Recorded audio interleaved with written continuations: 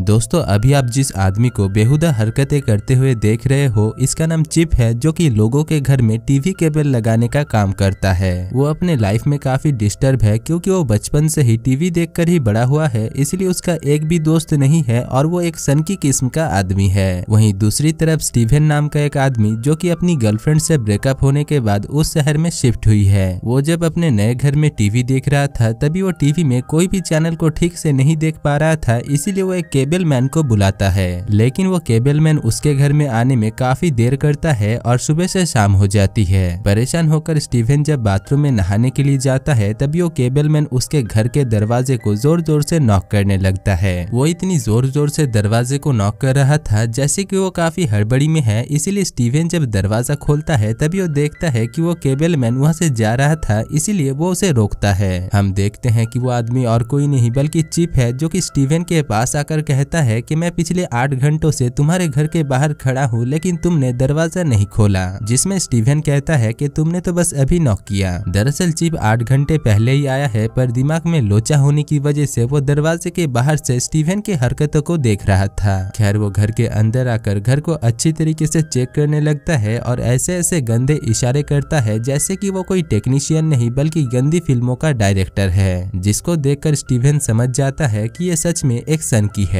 अब आखिर में वो टीवी को ठीक करने लगता है, तभी स्टीवन उसे 50 डॉलर घूस देकर उसे सारे चैनल्स को फ्री में देने के लिए कहता है, जिसमें चिप उससे एक भी पैसा नहीं लेता और उसे सारे चैनल्स फ्री में दे देता है क्योंकि वो उसके साथ दोस्ती करना चाहता था। जाते वक्त चिप उसे अगले दिन उसके साथ घूमने चलने के लिए ज़ोर ज़बरदस्ती मनवाता है। अगले दिन स्टीवन जब टीवी देख रहा था, तभी चिप उसके घर के बाहर आकर ज़ोर ज़ोर से उसे पुकारने लगता है। वो स्टीवन से कहता है कि आज वो दोनों घूमने जाने वाले हैं इसीलिए वो अपने साथ एक ट्रक को लेकर आया है। खैर, वो स्टीवन को लेकर शहर के सैटेलाइट ऑफ़िस में जाता है, जहाँ से पूरे शहर में टीवी सिग्नल्स आते हैं। यहाँ पर चिप स्टीवन से कहता है कि वो बचपन से ही काफ़ी अकेला है और वो टीवी देखकर ही बड़ा हुआ है, क्योंकि उसका पिता ऑफ़िस के काम में और उसकी माँ घर के कामों में बिज़ी रहती थी। साथ ही साथ वो बिमल बाबा की तरह स्टीवन को उसकी लव लाइफ को ठीक करने के लिए भी आइडिया देता है और वो स्टीवन को उसकी गर्लफ्रेंड रॉबिन के साथ एक रोमांटिक मूवी देखने के लिए कहता है। खैर अगले दिन स्टीवन जब बास्केटबॉल खेल रहा था, तभी वहाँ पर चिप आ जाता है और वो भी स्टीवन के साथ बास्केटबॉल खेलने लगता है। इसी बीच वो उस मैदान में इस तरीके से गंद मचाता है, जिसको देखकर स्टीवन को उसे अपने दोस्तों के सामने अपना दोस्त कहने में भी शर्माने लगता है। जिस वजह से मैदान को कबाड़ खाने में बदलने के बाद वो चिप को इंसल्ट कर देता है और कहता है कि तुम मेरा दोस्त नहीं हो। फिर जब वो अपने घर पहुँचता है, तभी उसे टेलीफोन में चिप के काफ़ी सारे वॉइस मैसेजेस रिसीव होता है, जिसको सुनकर उसे चिप के ऊपर शक होने लगता है, क्योंकि चिप उसके लाइफ में थोड़ा ज़्यादा ही दखल दे रहा था और वो उसे स्टॉक भी कर रहा था।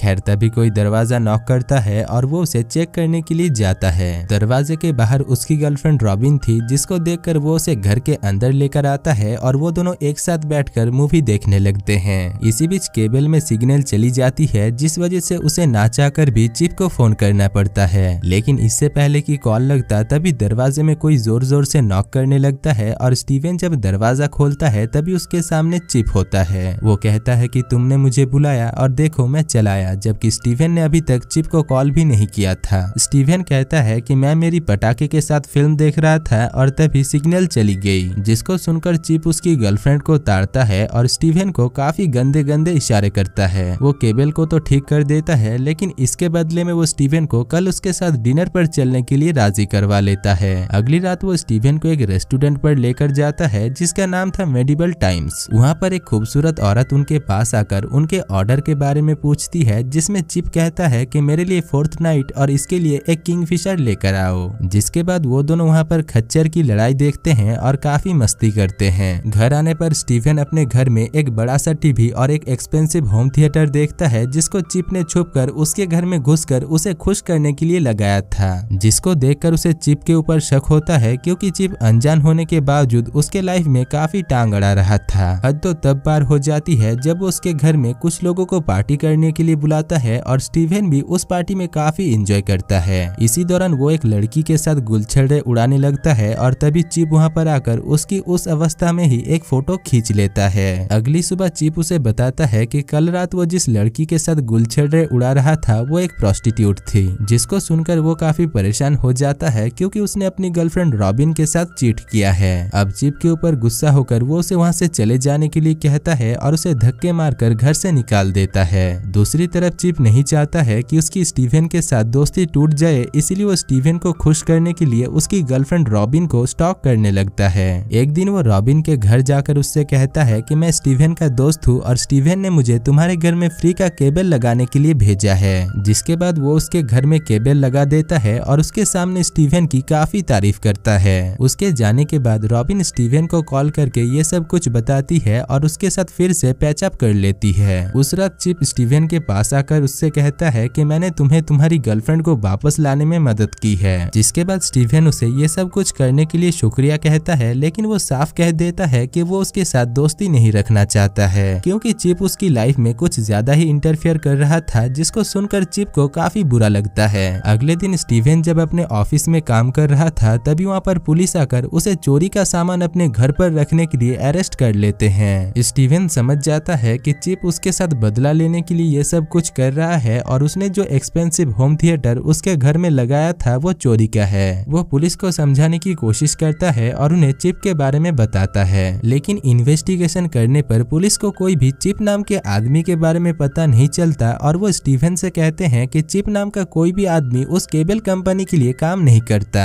थोड़ी देर बाद चिप उससे जेल में मिलने के लिए आता है, जहाँ पर स्टीफन उससे उसका असली नाम पूछता है, जिसमें चिप उससे कहता है कि उसका असली नाम लॉरेंस है। साथ ही साथ वो ये भी कहता है कि अगर तुम मेरे दोस्त नहीं हो तो फिर तो तुम मेरे दुश्मन के बराबर हो, और इसीलिए मैं तुम्हारे साथ दुश्मनी निभा रहा हूँ। जेल से छूटने के बाद स्टीफन जब अपनी गर्लफ्रेंड के साथ उसके घर में पार्टी के लिए जाता है, तभी वहाँ पर पहुँच वो चिप को देखता है, जिसको रॉबिन ने बुलाया था। स्टीफन उसे वहाँ से चले जाने के लिए कहता है, लेकिन चिप उसे वो तस्वीर दिखाता है, जब वो उस प्रोस्टिट्यूट के साथ गुलछड़े उड़ा रहा था। खैर, उस रात वो रॉबिन के फैमिली के साथ काफ़ी इंजॉय करता है और स्टीफन उसे देखकर भी कुछ भी नहीं कर पाता। स्टीफन रॉबिन और उसके फैमिली को समझाने की कोशिश करता है कि चिप एक पागल आदमी है और वो उसे स्टॉक करता है और उसी ने ही उसे जेल में भेजा था। लेकिन रॉबिन के फैमिली मेंबर्स को उसके बातों पर भरोसा नहीं होता। खैर, अगले दिन चिप उससे बदला लेने के लिए उसके बॉस के पास एक वीडियो क्लिप भेजता है जिसमें स्टीवन उसकी बॉस की काफ़ी बुराइयाँ कर रहा होता है, जिसको देखकर उसके बॉस उसके ऊपर काफ़ी नाराज़ होते हैं और वो स्टीवन को नौकरी से निकाल देते हैं। अगले दिन स्टीवन को चिप की सच्चाई के बारे में पता चलता है। दरअसल वो कोई केबल कंपनी के लिए काम नहीं करता है और पहले वो जिस कंपनी के लिए काम करता था उसे वहाँ से निकाल दिया गया है। वो एक मेंटली डिस्टर्ब आदमी है और वो बचपन से ही टीवी देखकर बड़ा हुआ है, इसीलिए वो केबल कनेक्शन के बहाने लोगों को स्टॉक करता है और उन्हें परेशान करता है। इधर चिप स्टीवन को कॉल करके कहता है कि उसकी गर्लफ्रेंड रॉबिन उसके पास है और वो दोनों उसी सैटेलाइट के ऊपर है जहाँ पर मूवी के स्टार्टिंग में चिप स्टीवन को लेकर आया था। स्टीवन वहाँ पर पहुँचता है और वो चिप से उसकी गर्लफ्रेंड को वापस करने के लिए कहता है। थोड़ी देर में वहाँ पर पुलिस भी आ जाते हैं, जिस वजह से चिप रॉबिन को स्टीवन के हवाले कर देता है और अपने अकेलापन से परेशान होकर खुदकुशी करने की कोशिश करता है। लेकिन बाद में हमें पता चलता है कि वो अभी तक मरा नहीं है। इसी बीच एक हेलीकॉप्टर वहाँ पर आकर उसे रेस्क्यू करके हेलीकॉप्टर के अंदर ले लेता है, जहाँ पर वो हेलीकॉप्टर के पायलट से पूछता है कि क्या तुम मेरा दोस्त बनना चाहोगे? जिसमें वो पायलट हाँ कहता है और चिप हंसने लगता है, यानी चिप को अभी परेशान करने के लिए अपना दूसरा दोस्त मिल चुका है। और दोस्तों, इसी के साथ ही इस मूवी की कहानी खत्म हो जाती है।